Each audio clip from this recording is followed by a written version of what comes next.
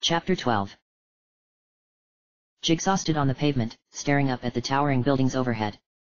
He was about to speak when he received a jab in the side from one of Tiptoe's wings. Ow! What was that FO? He stopped short, interrupted by Tiptoe's glare. Slowly, he began to take notice of his surroundings. His attention slipped from the architecture to his immediate surroundings to the general attitude of the ponies surrounding him. They were all walking with their heads lowered, eyes set resolutely forward.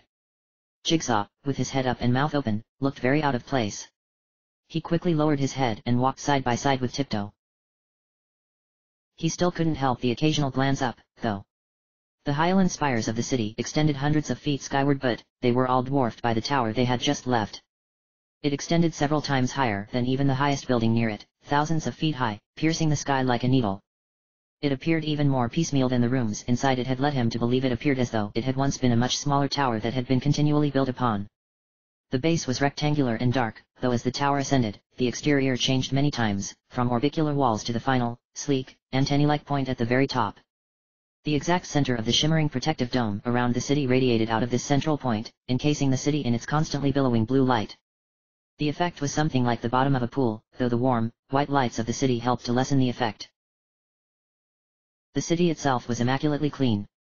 Ponies were filing in and out of several nearby buildings. They quickly assumed the same head-down posture that every pony had, quickly making their way away from the tower. The sidewalks were made of a white material that felt something like rubber. The roads were made out of what looked like black volcanic glass, though Jigsaw knew that would be an exceptionally bad material to build a road out of. As they walked along, some ponies shot them strange looks, but they weren't bothered. After a few hundred feet of walking, Tiptoe and Jigsaw came to a crossroads. The road curved off to the right in one direction and continued straight on in the other. This far from the tower, the ponies were beginning to raise their heads and talk to each other. Tiptoe nudged Jigsaw and gestured with her nose towards a space in between two buildings right where the roads diverged, and they slipped inside. Tiptoe was the first to speak. Jigsaw, where are we going to go? Her voice quavered, as if she was unsure of herself. Jigsaw still hadn't quite recovered from the shock of the city. He had a wide-eyed, stunned expression on his face. What are you talking about? Yeah, we escaped, Tiptoe said, but we're still in danger. We have nowhere to go. However, before Jigsaw could respond, a bright flash of red light and a sharp crack came from the entrance to the alleyway. When the light had faded, a small band of ponies was blocking the exit.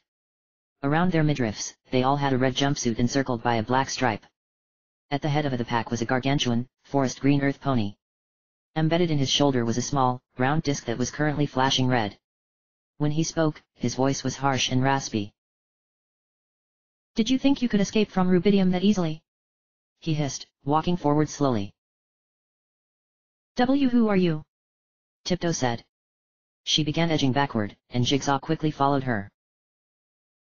We're who Rubidium sends when he wants something dealt with, said a small blue Pegasus who emerged from behind the burly green pony. Her voice was dripping with malice. She looked directly at Tiptoe when she said dealt with. Jigsaw's horn flared to life and he stepped forward. Stay away from her! He shouted.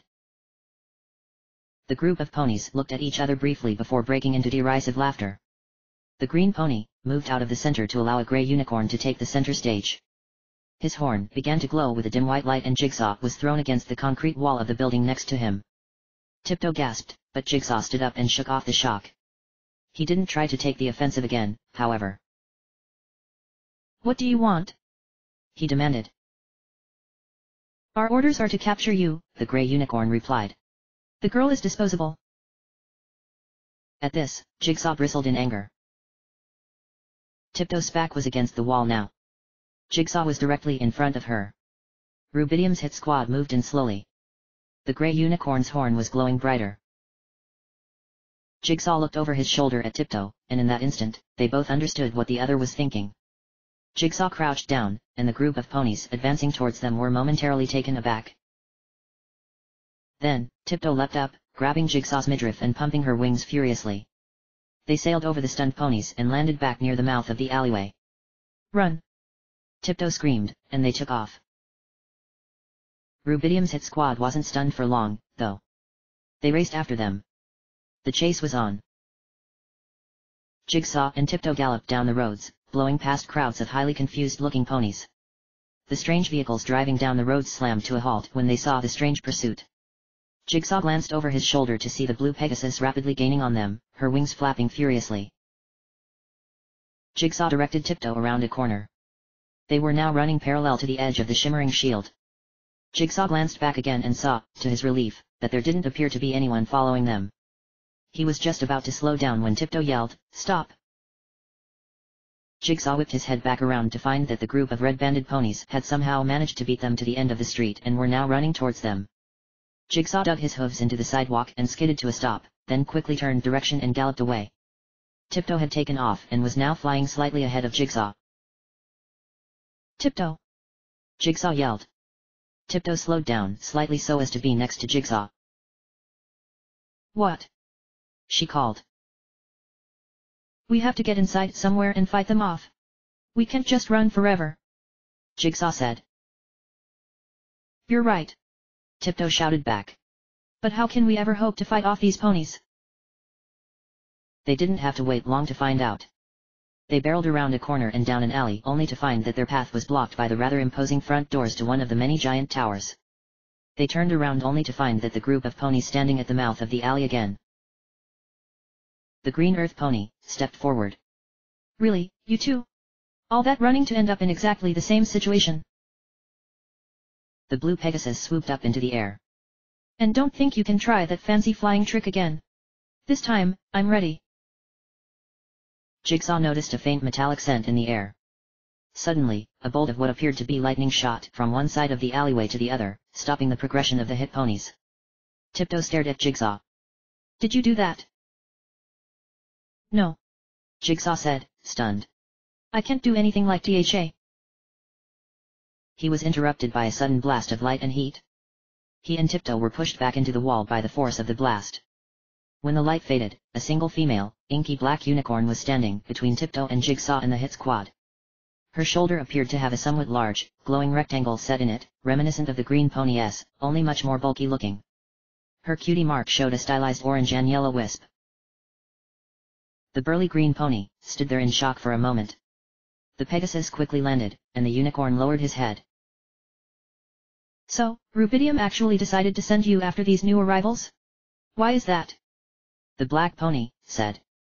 Her posture was strangely laid back, in stark comparison to the hit squad, who looked as though they might snap at any moment. Tiptoe silently wondered why this simple unicorn inspired such fear in this elite squad.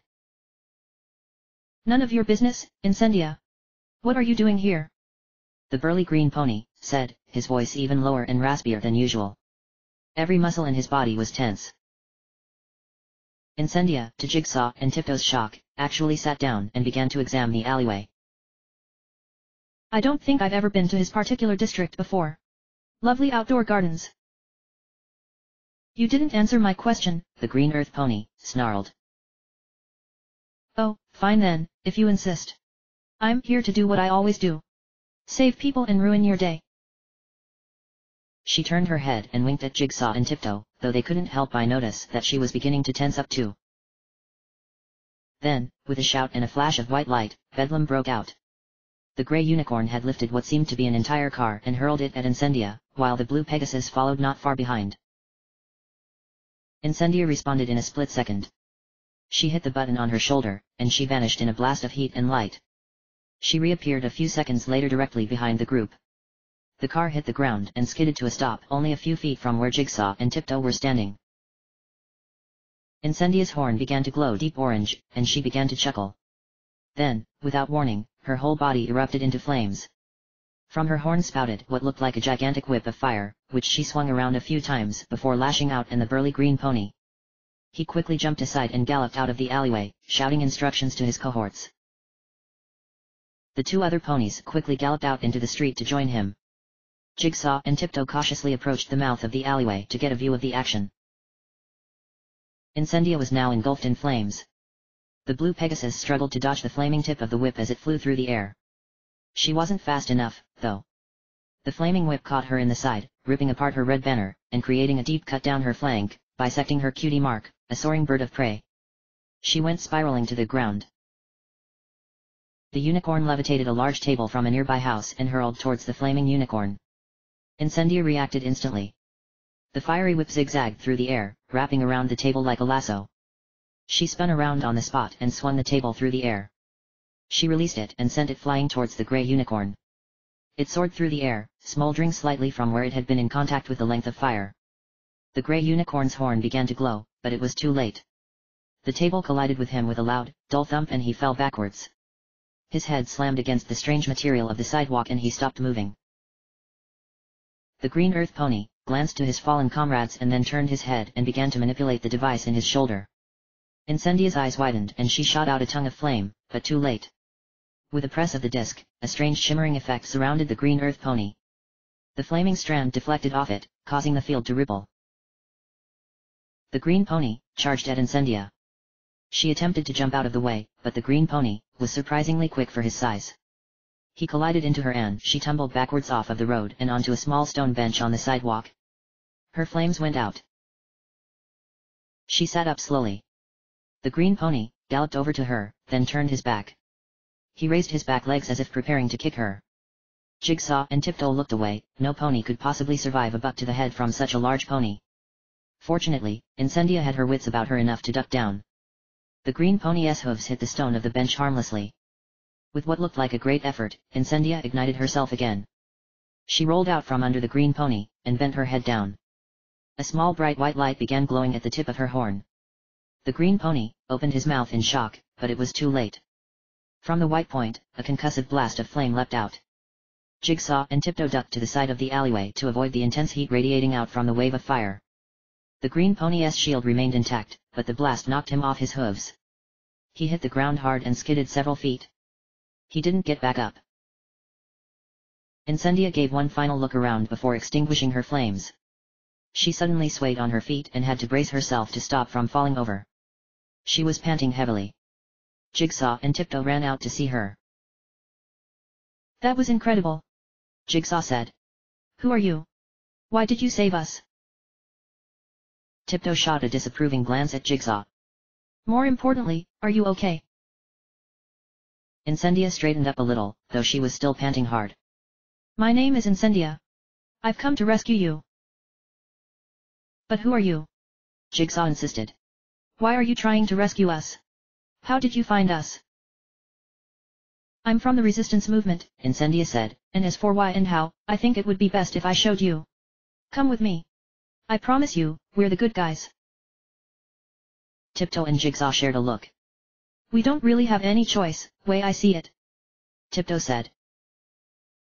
Good. Incendia let out a weak smile. Many things happened at once. Incendia's eyes suddenly focused on a point directly behind Jigsaw and Tiptoe. They turned their heads to follow her line of sight and saw the grey unicorn was back on his hooves, a small chunk of concrete levitating over his head. He let out a shriek and launched it towards them.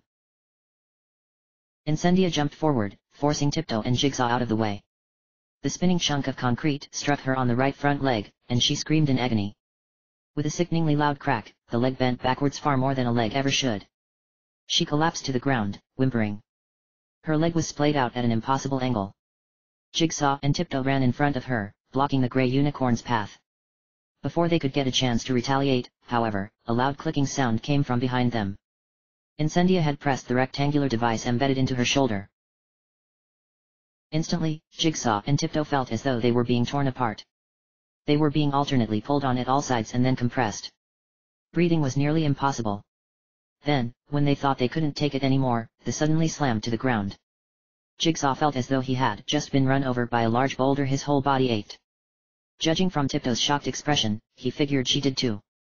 They were in a small, unassuming room that appeared to have been quickly and shoddily made out of wood. There was no furniture, only a single electric light hung from a ceiling. Then, with a fresh blast of light and heat, Incendia appeared before them. She crumpled to the ground. Immediately, two other ponies a female unicorn and a male pegasus rushed into the room. When they saw Jigsaw and Tiptoe, their faces lit up with joy. It was short-lived, however, because they soon noticed Incendia lying in a heap on the ground, her right leg splayed out at an unnatural angle. The next entrant into the room surprised Jigsaw more than anything else. Cerulean stepped through the doorway, her trademark smile replaced with one that appeared genuine.